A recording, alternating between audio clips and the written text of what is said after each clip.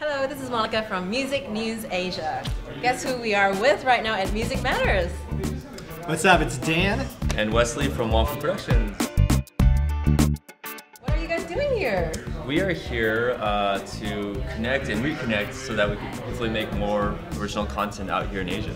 Yeah, and it's been really fun meeting so many new people. Um, I'm actually out here to perform at the Music Matters conference too, and so I get to perform and meet some different artists from all around the world. So it's been incredible.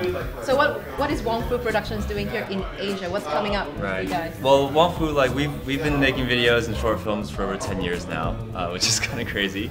Um, and a lot of that has uh, been largely in part from the Asian American community in the US, um, but we haven't actually done a lot of video production out here in Asia specifically um, for our audience out here, and they're a great audience. They've followed us for so long, and uh, we're so appreciative of that.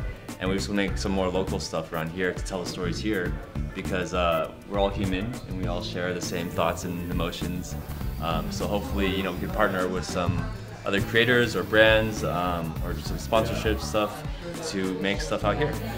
Fantastic. So in here at Music Matters, we're talking about China. You know, so is there anything that you guys are hoping to get into in China, or is there something in the plan? Or yeah, you know, I'm actually very interested. There's been a lot of talk about yeah, China and India yeah. and the conference, and uh, people that we're connected with in the United States are uh, really interested. Particularly, we work with a group called Far East Movement, mm-hmm. and so Far East Movement tours a lot in China right now. But there's a lot of talk about like particularly the Chinese like music industry and just finding other creative. It looks like there's a, this new burgeoning like creative um, group that's kind of blowing up in China. So it's interesting to see what's going on there and how it affects us in America. Yeah.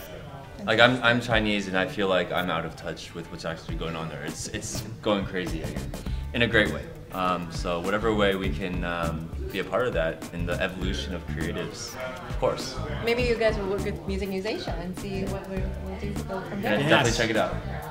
Fantastic! Thank you so much. Yeah, yeah thank I hope you. to enjoy your you enjoy your uh, trip here in Singapore. Thank you. Thank you. Thank you. We'll see you soon. Bye. Bye.